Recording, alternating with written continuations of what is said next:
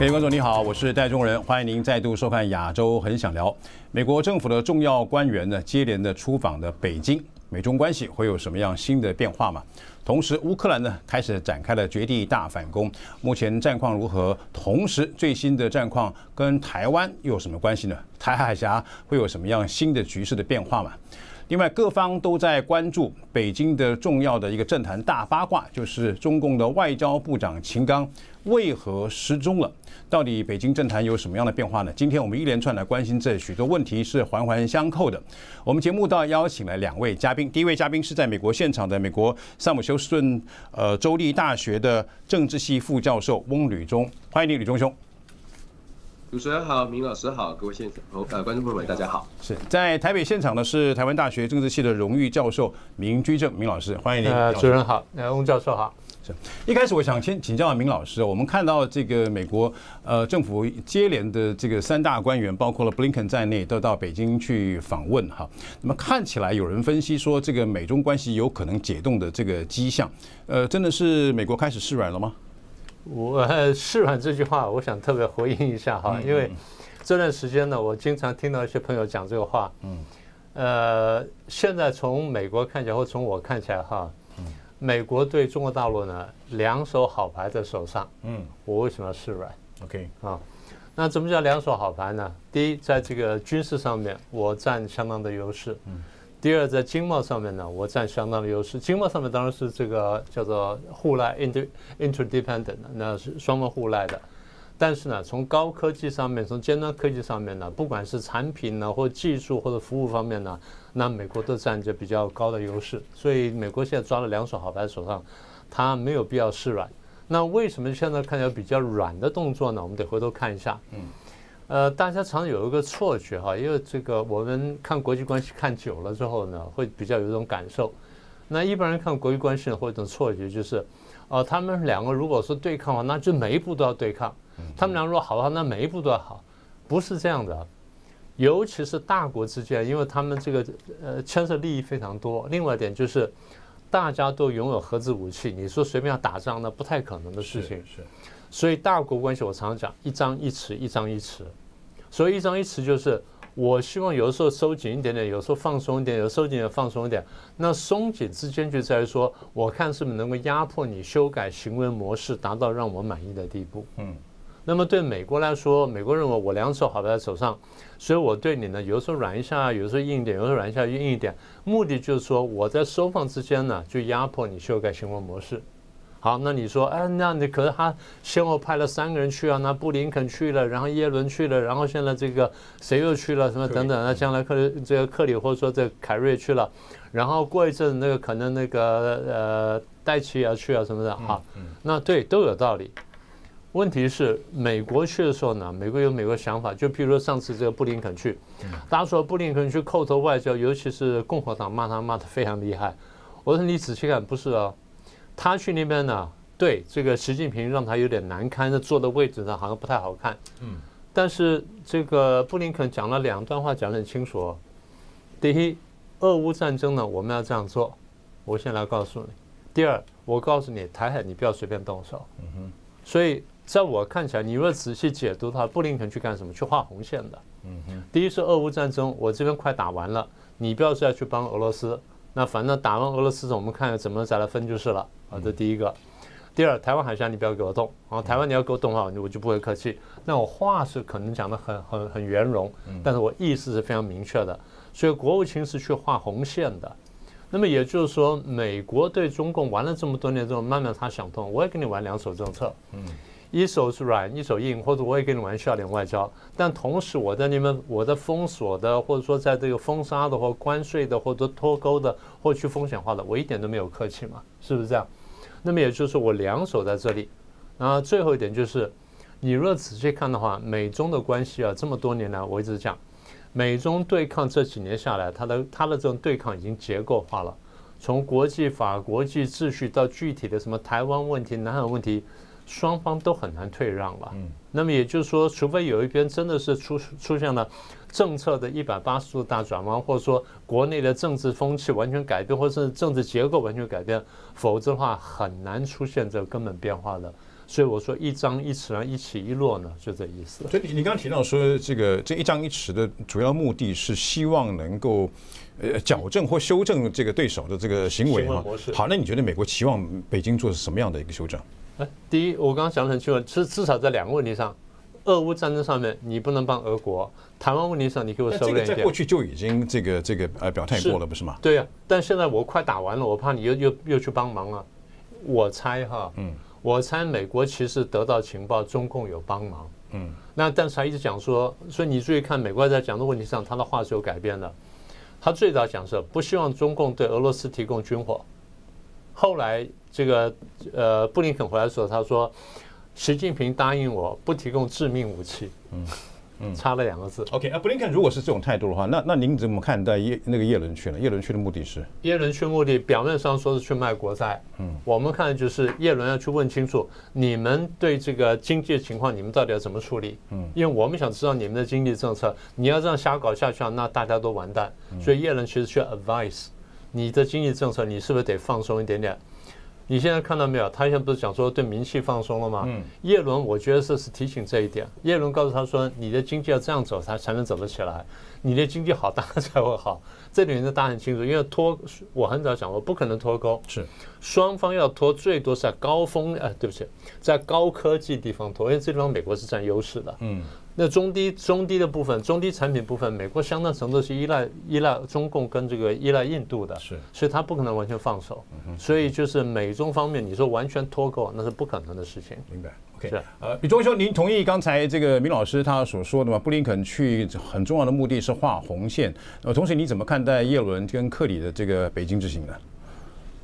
是确实哦，就如同刚刚明老师所分析的，我们就觉得是非常有道理哦。主要的原因是因为大家会觉得好像对话就是示弱，就是示软，事实上并非如此哦。因为我们在国际关系当中所强调的所谓的 deterrence force，其实包括了两个部分，一个是军事上面的强化国防力量，另外一方面其实就是谈判。而这个谈判呢，你可以看到，只要他谈判踩的底线非常强，也就是美国虽然派了布林肯、派了耶伦、派了这些个克克里到了中国北京去做谈判。可是美国有没有在他的底线上面做出让步呢？美国对于中国的经济制裁，尤其是高科技的制裁，并没有改变。甚至我们看到美国现在还出台了根据所谓的小院高墙的一个政策，针对非常核心的高科技晶片进行了更紧、更进一步的制制约哦。然后呢，在其他的方面呢，做出一些松绑。其实就如同刚刚明老师所说的，这样的一个对话，这样的一个沟通，其实是在画出红线。可是我们在外界外面来看呢，好像双方是有。一些沟通机制好像在互动，可是更进一步的解读的话，可能是在红线上面做出一些红线到底应该往前往前伸，还是往后稍微的做做出一些调整？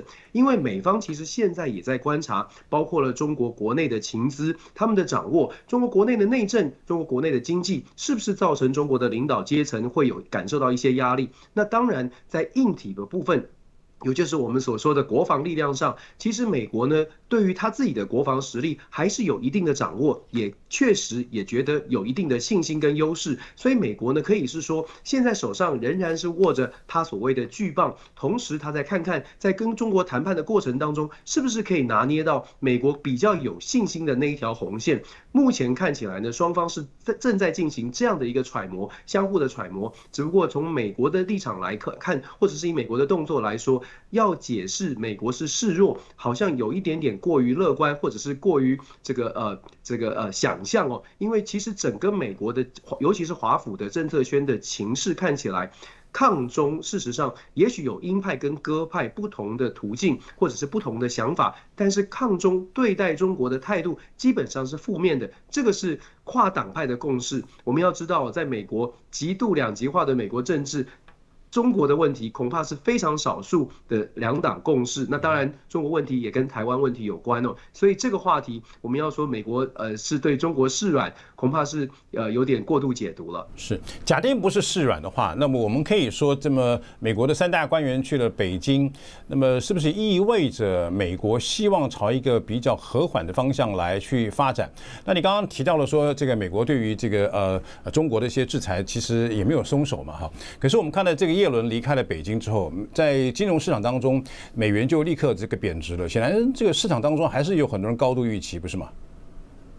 确实是这样，所以其实美国现在遇到的状况，比较不是行政单位或是立法部门的所谓的政策精英圈，他们对于中国的态度做出了一些改变，但是呢，在企业界，尤其是对于国际政治，他们的观察会是不一样的。对于企业主来说，他们看到，他们要看到的是中美之间能够尽快的稳定下来。当他们觉得他们的生意可能会受到影响的时候，当然就会开始呃采取一些行动来要求政治人物做出一些改变。所以。某种程度来说，我们说在华府呢，虽然政治圈对中国的态度没有改变，可是政治人物哦，包括我们所了解的政治人物所接受到的一些讯讯号，尤其是来自他们背后的支持者的讯号，其实是希望他们跟中国之间呢，能够赶快的，至少看起来有一些沟通，让市场的机制可以稍微的。得得到一些乐观的消息，让他们能够做做出一些市场上面比较乐观的期待。我想这个政治跟经济呢，可以合起来看，合起来看之后，就可以更进一步来解读为什么美国现在一方面呢在军事上面要强化，可是另外一方面感觉起来沟通的这个机制呢也在积极的建立。可是如同我们所说的。并不是示软哦，而是更进一步的去了解到底要怎么样来画下这个非常坚定的红线。是，明老师。对，那个我想回应一下刚才吕宗兄说的话，我觉得他讲的很有道理哈。其实市场或者说那个商界他怕什么？他怕不确定性，是对不对？他很明确下来，你要么就很好，要么就很坏。我们当然希望说两边关系很好，所以商界在期待两边呢最好开启一些对话。那么你说有些人讲说啊，美国去示软了，其实商界希望看见这种话，因为示软之后表示双方有对话空间，双方对话空间，双方和好，双方和好了那种不确定消失了，我们才晓得怎么做生意。嗯，所以这个我想这个是补充这个刚刚吕东兄讲那个方向，因为这个是我从商界里面得到一个很重要的讯息，他们说。你们想打下去，我们不晓得打成什么样的，我我都需要怎么办哈？你要么给我一个明确答案，你要么就打到死，要么就是双方开始开始改善。嗯，所以他们现在期望看见改善的一个一个迹象。那刚刚讲说三个人去了，大家觉得有点放心了，是这个意思。呃，在过去啊，特别是在这个呃台海关系上面哈，呃，我们常常用这个以商为政或以商逼政的这个说法哈。我想请教在美国现场的这个吕中兄啊，我注意到一件事情，就是在我们节目录影前的这个两天，美国的 Intel、高通还有 NVIDIA 的这个领导人进到了白宫跟拜登谈。那么基本上这三大巨头跟拜登谈的一个很重要，就是希望美国政府。府对于北京的晶片管制不要这么严力，或者是进行一些修正。呃，你你觉得这个完全是来自于美国内部的这个自发性吗？同时，是不是呃，即使完全自发的话，其实北京也看到了一个缺口呢？是的，事实上，就像主播您观察的非常非常到位啊。为什么这么说呢？因为美国政治，我们熟悉美国政治，就会发现，美国是一个完全拉比合法化，而且呢，美国的政治现金的法案其实也相对的非常的松哦。也就是说，企业主对于政治人物的影响力是非常明显，而且非常非常直接的。这也是我们会看到，为什么企业家当他对于可以进入到白宫进行一些斡旋，希望拜登政府，或者是希望进入到国会，希望国会议。员在某些议题上面可以站在企业来做思考，所以我们会看到美国的政府呢也做出相对应的回应。可是我们还是要必须又必须要强调，现在的主轴美中之间的竞争是一个系统性的竞争。到目前为止，至少在决策圈内没有看到对于中国要完全采取比较软弱的态势。事实上，到了二零二四年的大选即将接近了，民主跟共和两党恐怕政治人物反过来要去要求商界的人物、商商界的企业家呢要。共体时间去了解到中国的威胁，可能拜登要多多的去沟通，否则的话，他面对共和党的要这个要求呢，可能还有点撑不住呢。是，呃，刚才米老师您提到了说，这个啊，拜登呃，这个派了这么多的官员去，其中布林肯去的时候是画红线嘛？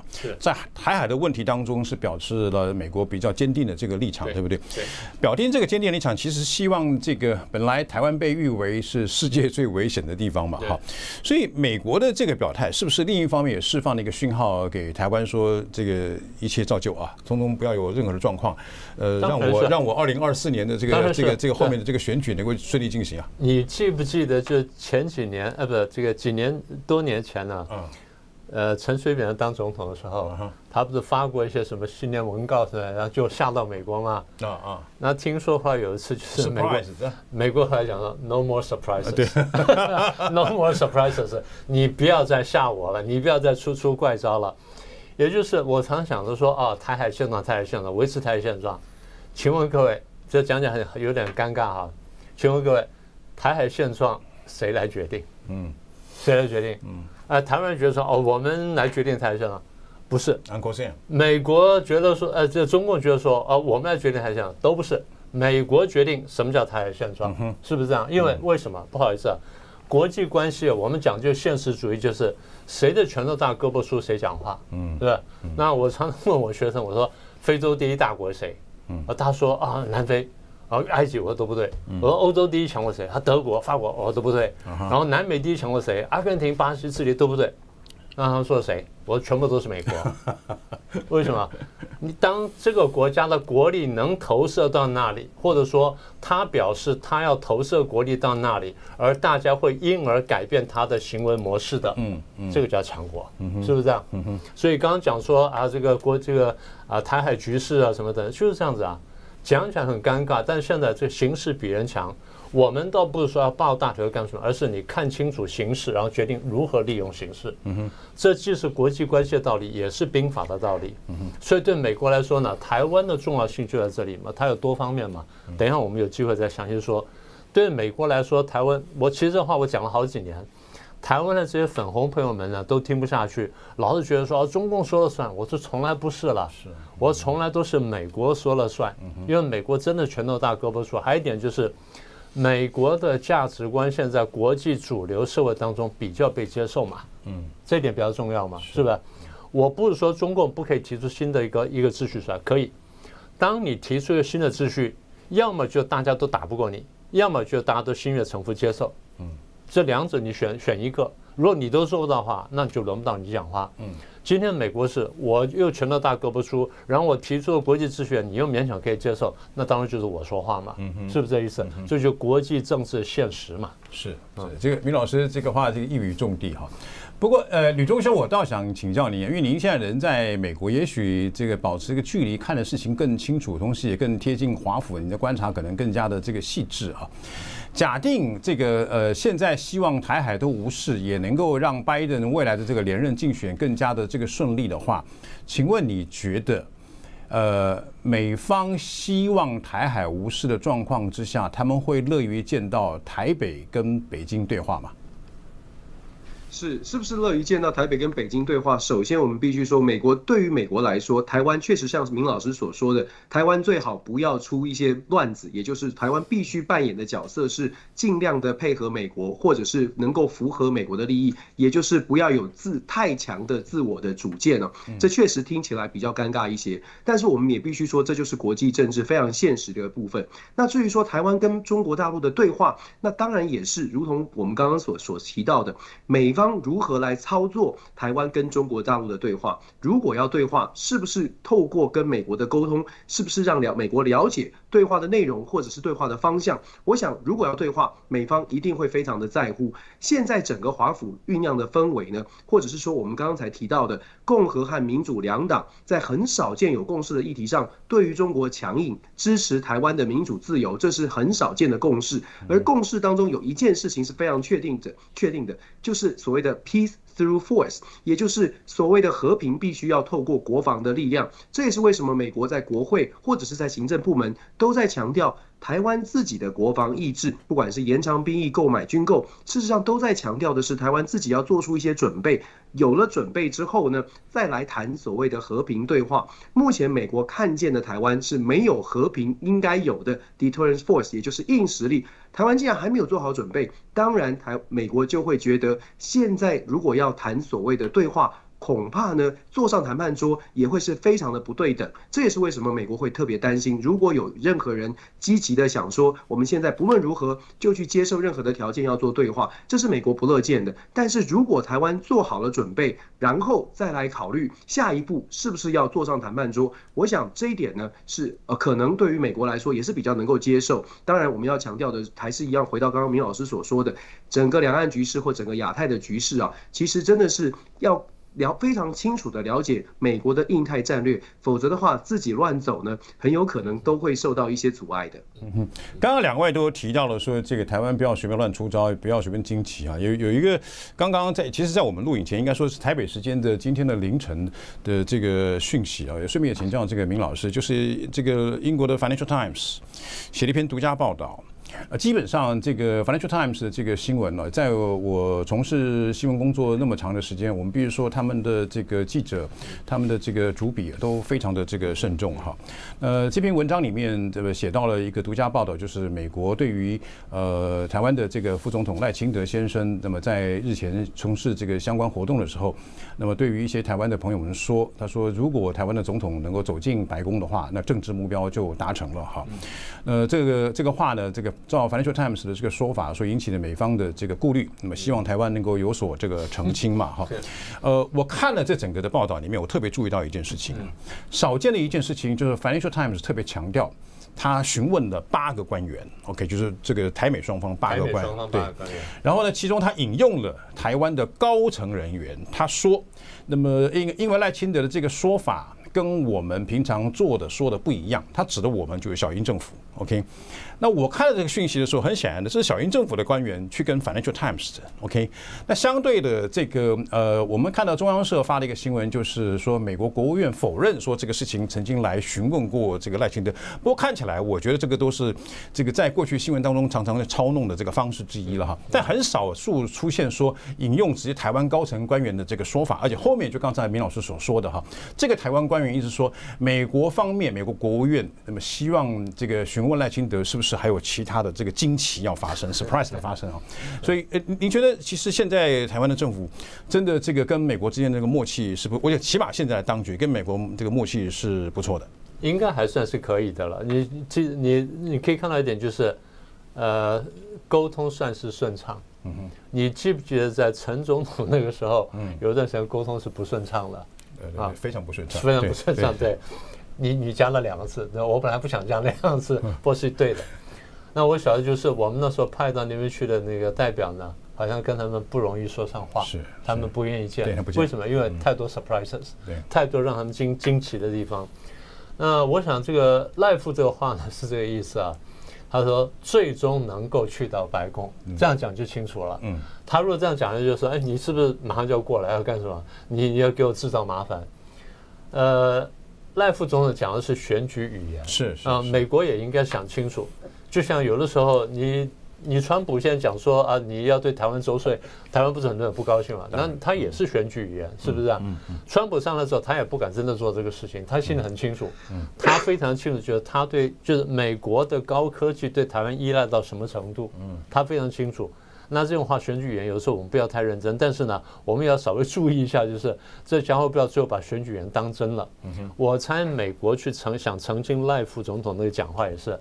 哎，你这个是选举言吗？还是你真的想操作什么玩意儿？嗯，你给我讲清楚。所以我们现在回头再再往下看一看就晓得，这注意看一下 赖夫的选举言有没有修正，这个点我们可以观察，因为它算是一个先行指标嘛。大家都知道，为了国内选票的时候，你会多讲一些话，会多做一些事，大家都可以接受。那民主政治嘛，你有你的难处，我有我的难处，那你不能说我都迁就你难处，你不迁就我难处，头过身就过嘛。我先过了再说，你让我过了再说。好，那所以我猜就是大家澄清完之后不会有什么事情，那只要就确定他讲。啊，我希望最终的目的是，嗯啊，进到白宫。那那可能三年、五年、十年、八年嘛，那没关系，你让我说就好了。那美国明白之后，大概就过去了。我猜是这样。嗯呃，李荣兄，我不知道刚才我们提的这个新闻讯息，您是不是了解？但是我想请教的就是，呃，依照您跟明老师的这个分析，很显然的，在这个未来台海关系当中，台湾本身能够，呃，犹豫这个我所余豫的这个空间，其实不是很大，对不对？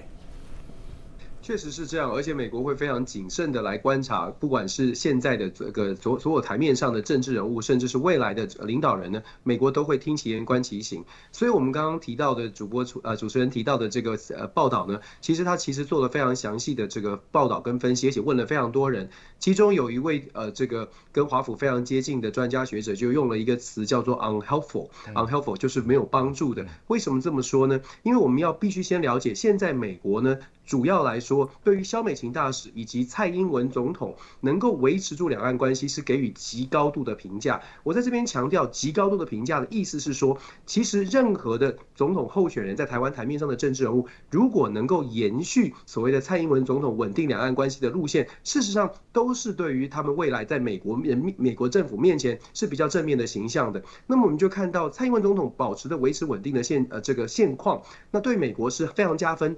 这个时候呢？赖清德副总统虽然说是所谓的选举语言，但是美国当然也希望可以可以非常清楚的了解，究竟是说这呃。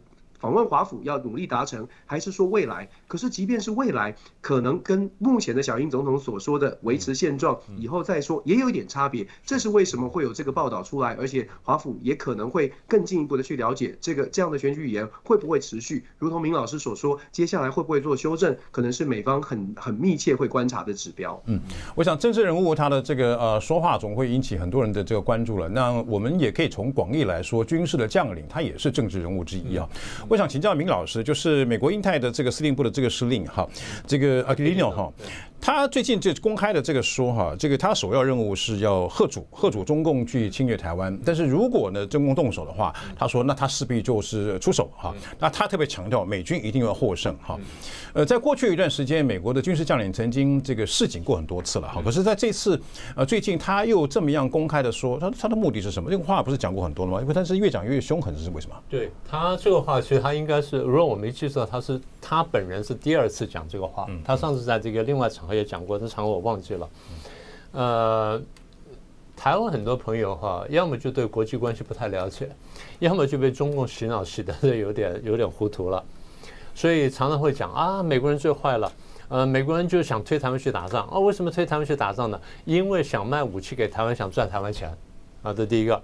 第二呢，美国人最坏了，美国人推台湾去打仗，为什么让中国人自相残杀？第三句，美国人最坏了，美国人把他推台湾去打仗，因为要遏制中国的崛起。这些呢，都是要么就是从中共角度看问题，要么就是真的是对国际关系没什么了解。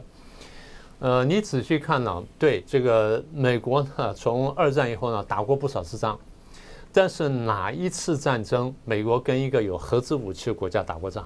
嗯，没有，嗯，没有，嗯，甚至就是你说这个呃。北韩，北韩这家伙，你说说也很小了吧，对不对？人口跟台湾一样多，然后面积比台湾大个几倍。嗯，对美国来说是一个很容易对付的对手。嗯，美国讲过多少次是说讲过狠话？那时候我记得很清楚了。那个川普在台上说，川普跟那个这个金三胖不是双方互相叫骂吗？是。然后这个金正恩说啊，我桌上有那个盒子按钮。川普说，我按钮也我也有按钮，按钮比你大。对不对？两个听起来像高中生在吵架，但是意思什么呢？我们双方在叫牌嘛，所以那时候讲双方讲得很凶。后来很多朋友，包括很多这些我们圈内朋友在讲啊，他们会不会打起来？我说绝对不会。他说你怎么这么把握？我说我从来没有看过美国认真想打过一个有核子武器的国家，嗯，从来没有过。也就有了核子武器之后。这当你有了核子武器，你对核子武器的杀伤力跟破坏力了解到一定程度之后，你真的不敢随便打开打开这个盒子的，因为这太可怕了。我讲的意思就是，美国不会轻易跟有核子武器的国家作战。嗯。但是你没有核子武器的时候呢，我就敢打你；或者你即将有核子武器的时候呢，我敢打你。比如说。他打过伊拉克，嗯嗯，对不对？然后他打过利比亚，为什么？他们都曾经想做核子武器，都已经走到某一步了。或者是让以色列去打伊朗？呃，对对对对，也就是说，反正就不管怎么，就你们这个国家看起来有核子武器，将来会对我有威胁的时候，那我就要先动手了。台湾当年也有过原子弹的，也也想要做做原子弹、核子弹的时候，美国不是也出手封杀过吗？嗯嗯，对不对？这我们都很清楚的。所以对美国来说，他不要跟有核子武器的国家打仗，但是不跟有核子武器国家打仗，并表示你不做准备呀。嗯，你一定要做准备啊。但做准备，所以我刚刚回到刚刚的话题，台湾很多这些亲中的朋友和亲中共的朋友们讲这些话呢，基本上是没有尝试的。嗯，怎么样没有尝试呢？美国第一，他不会想跟中共打仗，因为中共现在有一定的核子武力，所以美国对于中共呢，还有上策跟中策。我很早就讲过，说美国对中的上策就是我贺主战争之爆发，嗯，中策什么呢？万一贺主失败，我就要打，打一定要打赢。我这样讲，但是没有人相信。我记得我那在电视讲过的话，底下人留言骂我啊，你这不懂基本国际关系啊什么的。我说，我就因为懂国际关系，我才讲这个话。我再说一次，美国上策是贺主战争爆发，嗯嗯，中策呢是如果这个贺主失败的话，就要打赢。嗯，阿基利诺在我讲完的话之后呢，没有几个月就讲的话，嗯，所以这是第二次这样讲。阿基利诺在讲的话就是我一而再再而三提醒你，这就是我们的政策。哎，他说这是我得到的训令，嗯，This is the instruction I get，嗯嗯啊，就是我得到的训令，就第一我要喝足战争，第二如果喝足不成，我要打赢。我明白告诉你，我的任务就在这里。那下一个问题就是，那美国为什么采取这个策略呢？因为台湾对美国太重要了。台湾对美国重要性超过乌克兰。这个话我已经讲了几年，大家还是不太相信，但现在慢慢看懂了。美国现在讲，全世界这个晶片呢，台湾生产百分之六十，高阶晶片呢生产百分之九十，超高阶晶片台湾全部生产，全部在台湾。所以美国如果说它的经它维持经济、军事或军工科技发展的话，现在不能丢台湾，这第一个。第二呢？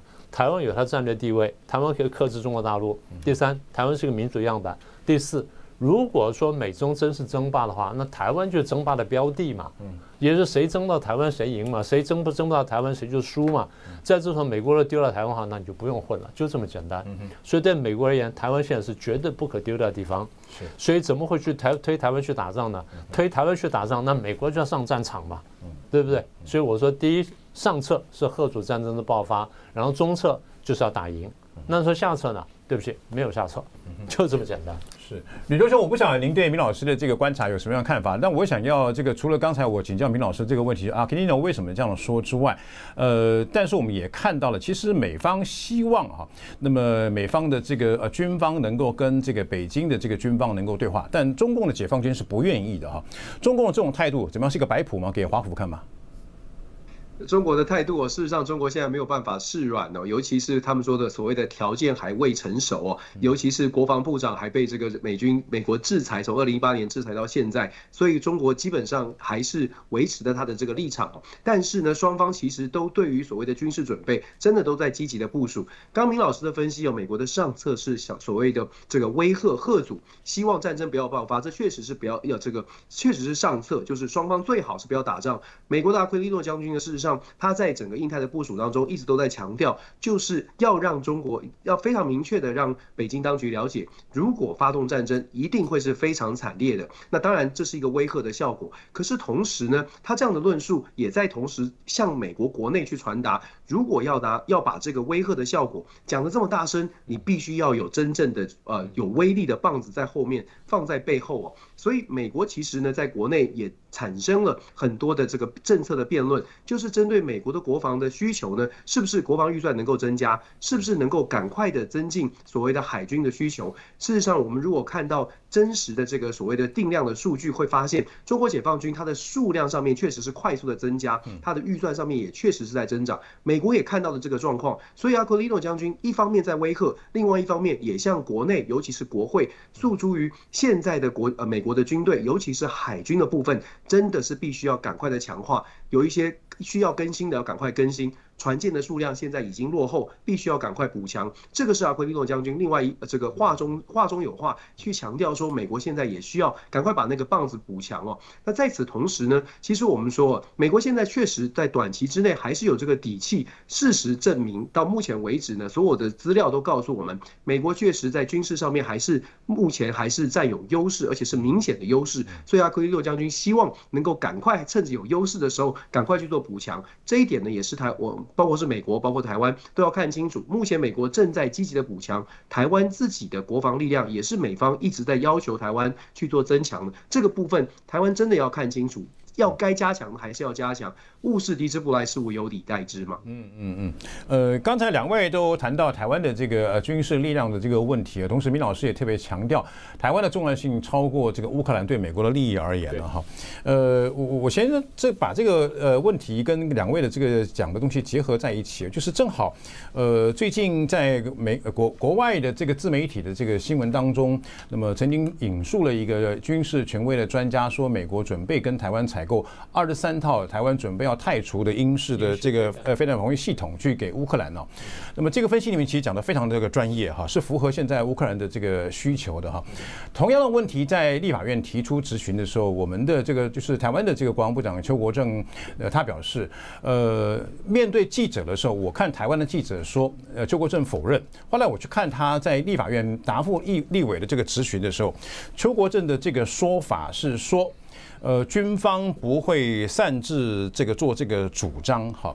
米老师，这个邱国正这个说法，那不就表示说他上面的老板才会去做这个主张嘛？同时，这个新闻出来哈，那么并不是空穴来风，因为正好台湾的这个呃呃太旧换新正在进行嘛哈。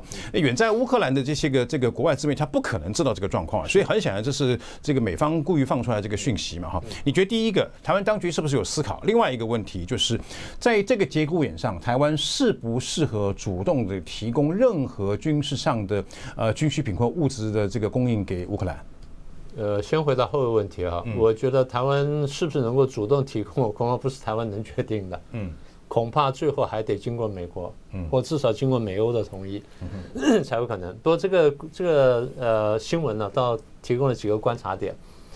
第一就是很多人在批评台湾军备落后啊什么的，我们现在淘汰的英式飞弹可以拿到乌克兰战场上去打仗，嗯，是。啊，然后再说一遍。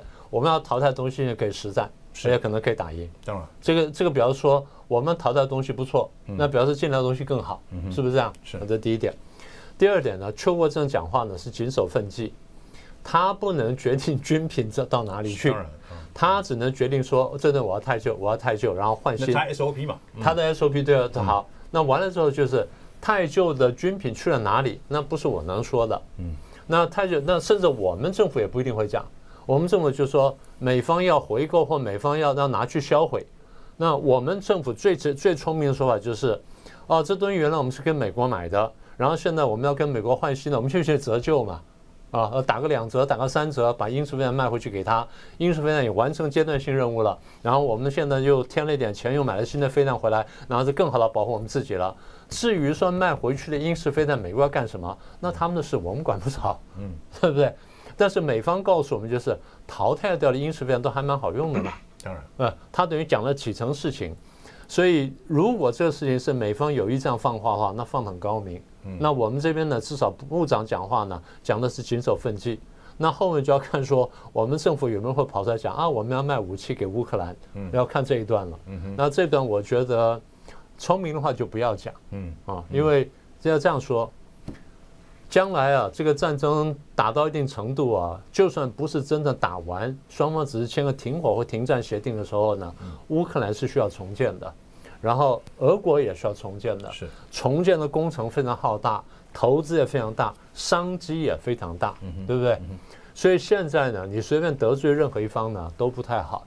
对台湾来说呢，保持一定的距离，到时候看看情况怎么样。然后扑进去呢，也进乌克兰重建，也进俄罗斯重建，台湾这样就双方得得利啊。所以现在台湾就是哪边都不要得罪，可能会比较好。嗯哼，李荣兄，你如何看待呢？这个呃，很显然是来自美方的这个消息，英式飞弹，台湾的英式飞弹，那么可能太除之后会进到乌克兰的这个战区，您您怎么看待这个讯息啊？是，基本上我同意明老师刚刚的分析哦。事实上，台湾的角色，并不是台湾能够主导，虽然听起来还是有点尴尬，但是事实上在。就供应乌克兰军火的这个品相上面呢，真的不是台湾可以主导。如果美方会需要，或者是我们的西方盟国这个需要的话呢，可能会对台湾提出要求。所以，然后当然某种程度也间接证实了台湾的军事武器，尤其我们自己研发的这些飞弹系统还是不错的。但是，其实更重要的一点，我觉得可以观察的是，目前乌俄战争真的打了蛮久的时间，美国已经投入了数百亿美金的军事援助或经济援助，而西方的各个国家其实也在军武上面提供了不少的澳元。现在的最大大的问题是军火的供应供需不平衡，军火商呢事实上已经把所有能够卖的卖的武器或者所有需要的武器都已经投入到乌克兰的战场，留下的只是国家所需要的。那目前的状况是，美国已经积极的在寻求超过它所谓的北约范围之外的这些国家盟国，是不是能够提供军事的武器？所以我们可以看到，乌俄战争的过程当中，韩国卖了坦克，卖了飞机。事实上，美国现在需要的不只是韩国，还需要更多的国家。都能够把武器能够供应到所谓的乌俄战场上，这是某种程度反映的，就是我们刚刚说的军事的生产链、军火的生产链，其实现在遇到了蛮大的这个缺口，这个也是我们可以观察的重点。嗯如果坦白讲，明老师跟这个李忠兄啊，我个人的这个观察，当然台湾在这个乌克兰的这个军需的这个供应上，我们要保持一段的这个距离了哈。但从英式飞弹这个事情发生之后，我的观察可能更会关关切的一件事情就是。邱国正到底什么时候知道这个事情的啊？我我认为，呃，当局的这个对美关系的这个做法细致跟切割的这个方式，可能超出我们的想象。我认为小英政府，特别是蔡总统本人，他有一个核心的这个团队，那么非常细心的经营跟美国的这个关系。那么呃，军方可能在相当程度之内啊是没有办法参与的啊。呃，当然这个可能要从不同的这个面向来讨论，以后我们有机会再来讨论这个事。不过既然两位那么都都谈到了这个乌克兰的这个军事的这个情势哈，特别是刚才明老师有谈到了一件事情，就是美国哈没有跟一个拥有核子武器的国家这个有作战的这个意愿嘛哈，这让我想到了一件事情，就是拜登才刚刚同意哈。要训练这个乌克兰的 F 十六的这个飞行员，不是吗？对。好，他如果要训练这个飞行员，因为我们他曾经是犹豫过嘛，对不对？你看看这个呃，这个这个呃，俄罗斯方面的这个反应哈，基本上他们抗胜 F 十六的原因，是因为他们认为 F 十六是可以携带这个核子弹头的这个武器嘛啊，所以对于这个俄罗斯而言，他很显然的把 F 十六视为一个一个 symbolic 的这个这个象征在嘛哈，所以拜登这个做法不是刚才您说的这个。个呃呃，这个美国不希望跟一个拥有核子武器的国家的来作战，可是他已经，也许他百般不愿意了，但最后在盟国的要求之下，他同意训练这个 F 十六这个飞行员，那是不是让他越来越这个这个怎么讲，他的决决策可能越来越为难呢？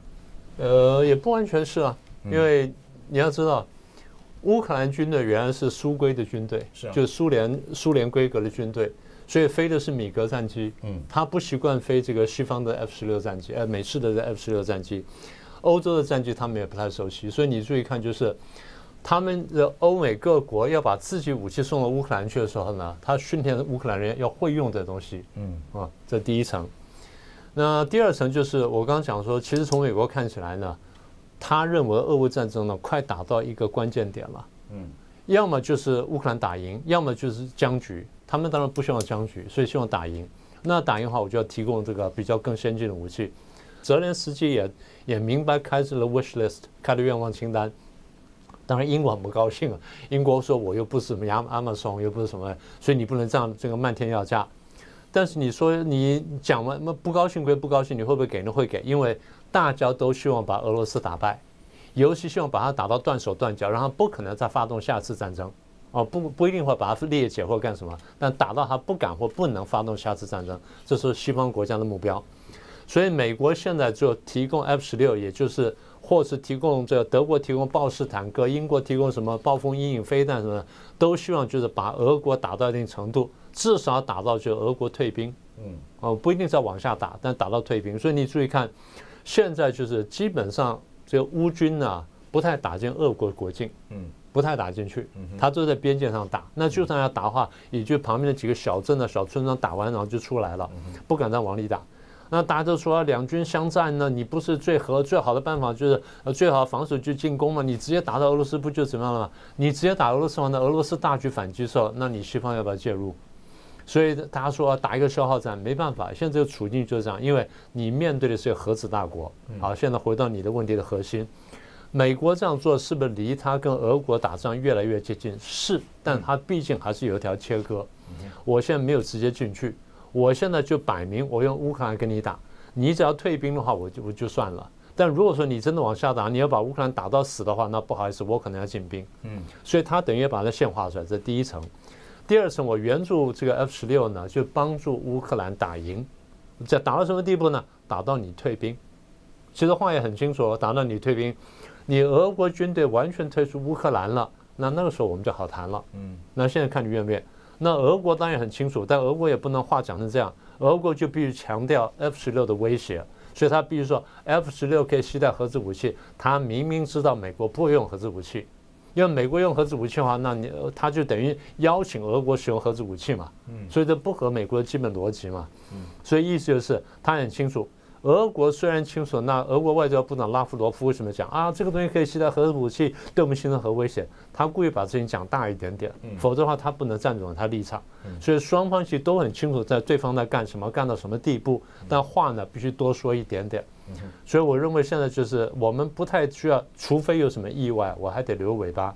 除非有什么意外，否则大家不用太担心。第一，美国直接介入了这问题；第二，也不用担心核子武器问题。现在问的就是俄国什么时候愿意认输，俄国什么愿意松手而已，只是这样子。是，呃，在美国现场的李忠雄，您觉得这个 F 十六这个训练的这个事情，你如何看待？美方是愿意再加一把劲，彻底的帮助乌克兰打败俄罗斯吗？那么这个所谓的胜利，到底应该怎么界定？什么样才是胜利？包括克里米亚在内的问题，这个容易解决吗？当然很不容易解决，否则不会乌俄战争打了这么久哦。其实我我我的观察是这样，就说美国面对所谓的训练 F 十六飞行员这个呼声跟这个要求，其实很长，已经很长一段时间了。主要的原因是因为 F 十六的战机由美国出售到这些国家，尤其是即使是出售到美约的北约的盟国，如果他们想要再转赠给乌克兰，或者是想要出售，事实上都要得到美国的许可。这是在军售案当中本来就已经签的制式的条约。再者呢，F 十六战机为什么大家都抢着要，原因是因为 F 十六战机是性价比非常高，而且在空战空战能力很高之外，空中缠斗能力很好。其实它最最值得关注的，在沃战场上最有用的是它的对地的攻击能力，它挂的弹是可以。大幅的去攻击到目前大规模乌东被攻被占领的区域。我们要知道，现在乌俄战争现遇到的僵局，乌克兰现在正在反攻，可是反攻最不顺利的部分，就是因为在地面大规模的这个范围呢，俄罗斯过去这段时间部署了非常多的地雷，导致俄乌克兰的军队想要反攻的时候，如果没有空优，没有空中的支火力支援，是没有办法有比较明显的进展。而且俄罗斯在过去这一年的时间呢，因为陷入僵局，俄罗斯不是在积极的寻求再往前推进，而是在地，透过外国媒体都已经报道了，俄罗斯在地挖了非常多的防空的这个壕壕沟哦。事实上，他们打算要做长期的战争，这也是为什么 F 十六的战关战机的关键的对空对地能力呢是非常重要的。那北约国家当然希望美国可以松绑，希望美国可以允许俄罗斯呃乌克兰可以拥有 F 十六战机，因此向美国提出要求。美国呢在几经考虑之后，当然如同明老师刚刚所分析的，美国。也许看到了俄罗斯现在遇到一些困境，而且看到了战争有胜利的迹象，所以终于松口了。至少呢，F 十六的飞行员愿意协助训练。到时候战机会不会给从美国来给到乌克兰，或者是透过其他的北约国家给予乌克兰，这就要看美国盘算胜胜算的问题。但是我们必须要说，现在的目前看起来呢，拜登政府确实是感觉起来。给给乌克兰更多的训练，给乌克兰更多的支持。一方面回应盟友，另外一方面也确实看到了，也许胜利的这个契契机是在升上升当中的。好，如果是这样的话，李忠兄，我就接着请教，这个就是美国愿意提供集束炸弹给波兰的原因吗？哎，给给乌克兰的原因吗？确实有一种说法呢，是说因为集束炸弹，我们要知道集束炸弹呢，它是杀伤力非常强，而且呢，事实上国际有公约，尽可能的在人权的部分呢是不要使用的，所以它当然也承受到不少压力。可是如同我们刚刚所分析的，整个乌东的范围非常非常大，毕竟整个乌克兰有十九个台湾大，想象一下那个范围，整个范围这么大的情况之下，如果用传统的用坦克推进、步兵推进，事实上要得到成效非常困难。所以现在呢，不得已的情况之下，要突破这个僵局，就必须要。用相当的手段，极速飞弹是一旦发射出去之后呢，会分散成很多的小炸弹，面对大规模的攻击是非常有效果的。当然，它就必须要承受一些所谓的人人道的这个疑义哦。那俄罗斯其实也同时的去做一些反击，他说他们自己也有极速飞弹，这点我们必须要讲。美国的极速飞弹的科技跟俄罗斯极速飞弹的科技，事实上它是有很大的落差。俄罗斯的这个哑弹率，也就是失败率呢，大概根据资料是百分之三十到四十。美国的这个失败，呃，极速飞弹炸出去之后的失败率大概是百分之五到百分之十。所以俄罗斯就乌克兰一直都认为美国的极速飞弹会对战场造成带来很大的帮助。这也是为什么美方希望乌俄战争可以赶快的结束，现在不得已提出这样的一个手段，提出这样的武器，希望能够。呃，给乌克兰更多的帮忙。梅老师，因为这个刚才吕荣兄提到了，俄罗斯他也宣称他有技术炸弹嘛，哈，特别是这个呃，他们的技术炸弹没有像美国这么高明。可是问题来了哈，如果说俄罗斯也动手用技术炸弹，他攻击的是这个乌克兰嘛，对不对？但因为它没爆炸，所以它未来的这个威胁性可能更大。那所以如果这个乌克兰使用了这个美国的这个技术炸弹，他会占到便宜吗？呃，要要这样说哈，呃，我等会儿再回答会不会占便宜的问题。我先说，就是美国为什么要走到这一步？OK，呃，这个战争打到现在差不多快一年半，对不对？啊，一年五个月左右。呃，我一直在讲，我说如果打成一个长期战争的话，它会是一个消耗战。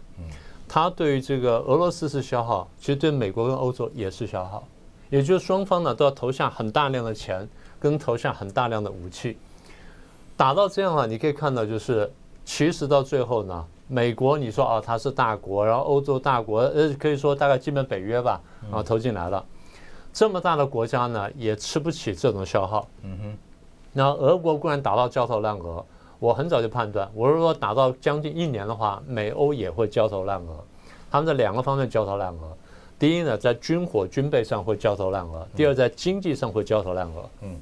那么俄罗斯也是一样，它在经济上会焦头烂额，在军备上会焦头烂额，所以这种情况出来的时候，对中国来说是最好的。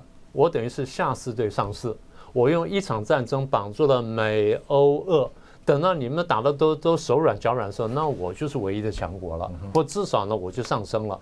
所以对他来说这是格外好处。我一直在讲，最希望俄乌战争延续下去是中共，虽然他摆出姿态是我拼命希望要和平。是好，这第一层。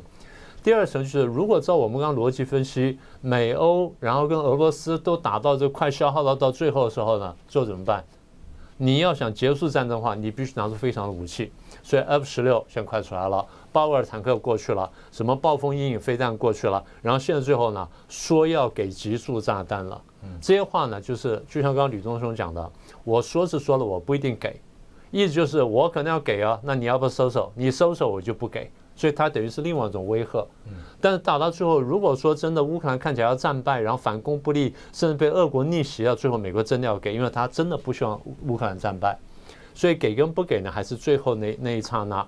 但所有的情况就是，现在乌克兰开，就我们如果从一年前一年多看起来看下来哈。最早的战局是俄国进攻，乌克兰防守，叫做俄攻乌守。现在这几个礼拜你看起来是乌攻俄守，但是呢，乌的进攻不是十分有力，俄的防守还算不错，但是俄似乎没有力量进攻了。嗯哼。啊，现在看起来是这样的，所以走到这一步，如果双方都觉得打很打得很累，欧美希望说能够停下来，我能够恢复经济，然后恢复军备，因为我还要去应付中共呢。啊，我还有另外问题要要去处理，所以我希望这边赶快结束。我希望赶快结束，情急之下我就会出这一招。嗯，所以现在讲的话呢，一方面就是我是恐吓俄罗斯，你是不是赶快收手？另外一方面就是我，你如果真收手，我就不给；你要不收手，我就真的给。我想赶快结束战争之后，我去对付那一边。嗯嗯嗯，好，呃。当然，我们节目时间的关系哈，实在这个俄乌战争有很多的角度可以去谈了哈。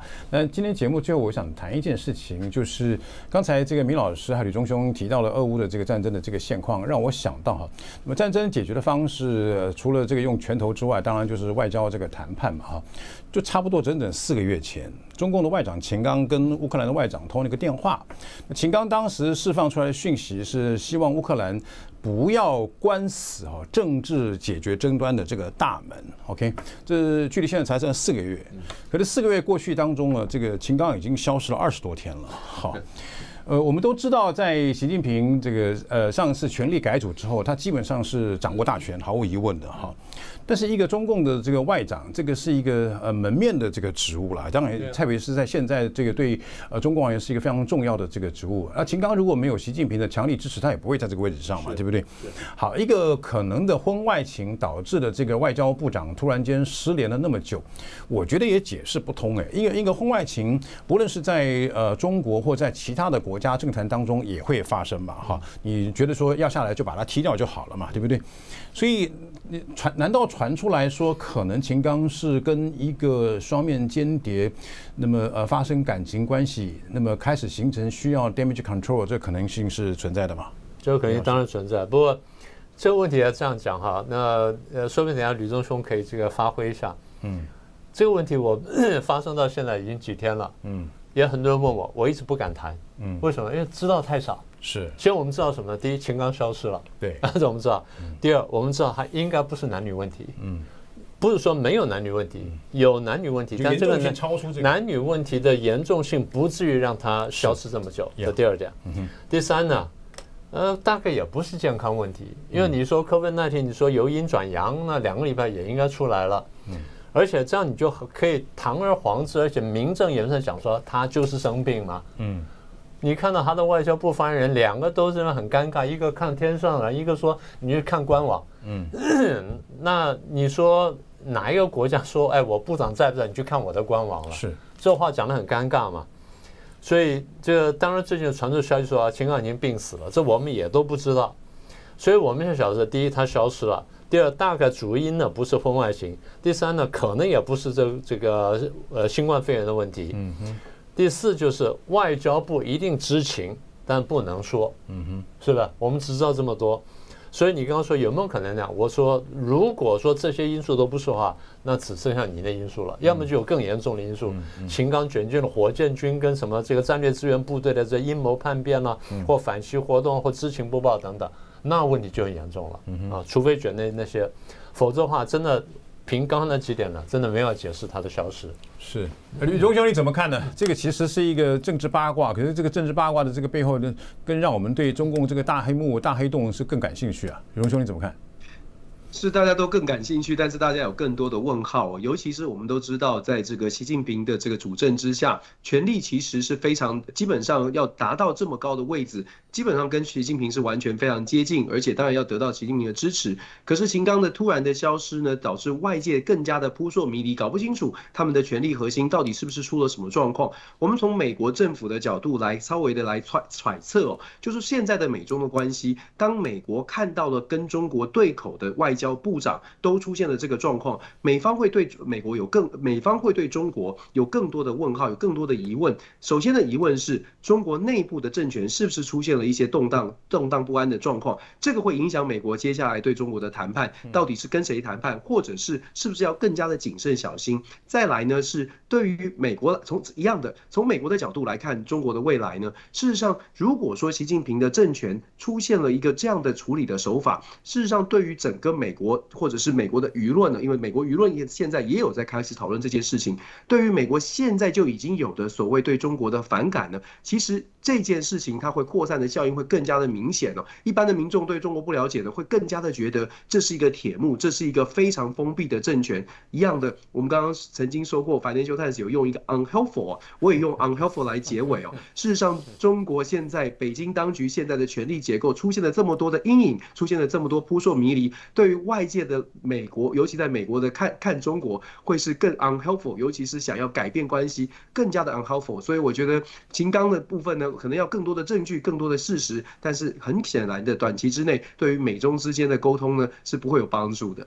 是，呃，今天我们一连串谈到了这个美国跟呃中国之间的关系的这个变化，也谈到俄乌战局最新的情形，同时也试着就一个事件呢，去看看呃北京官场上的这个黑暗一面，以及它的这个正态的这个动呃政坛的这个动态哈。我相信呢，今天我们两位嘉宾提供我们的讯息一定是 helpful 的哈。也谢谢全球的观众朋友锁定我们频道，别忘了我们还有更多的讯息在未来提供给您，请锁定我们的节目。